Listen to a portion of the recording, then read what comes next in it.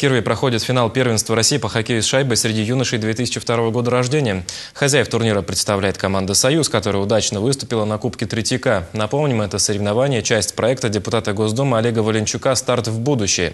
Итоги Кубка в материале Роман Четверякова.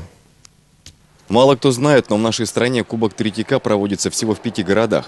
Данный факт в некоторой степени накладывает своеобразный отпечаток на характер борьбы, которая разворачивается на площадках.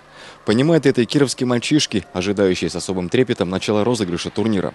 В путь отправились 12 команд, 4 из них прошли всю дистанцию с наименьшими потерями и закономерно вошли в финальную часть.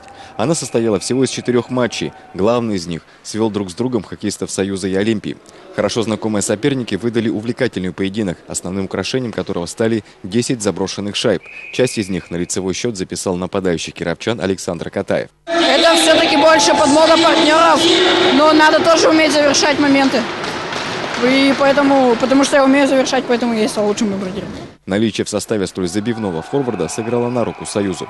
Тем более у команды имелся опыт побед на Кубке Третьяка. Все это вместе стало сказываться ближе к середине игры, когда ни у одной из команд не было заметного преимущества в счете.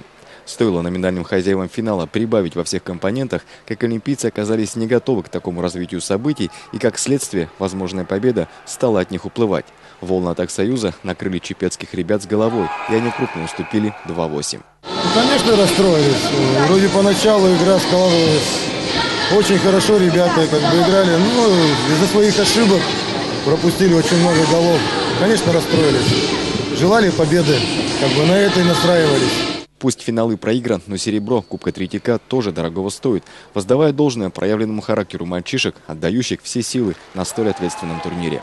По заведенной традиции, пять лучших игроков турнира побывают в Москве на Кубке Первого канала, что, по мнению организаторов, служит отменной мотивацией для всех ребят, кто стремится чего-то добиться в хоккее. И первым шагом в этом направлении служит как раз участие на Кубке Третьяка. Роман Четверяков, Игорь Охотников, Вести Киров.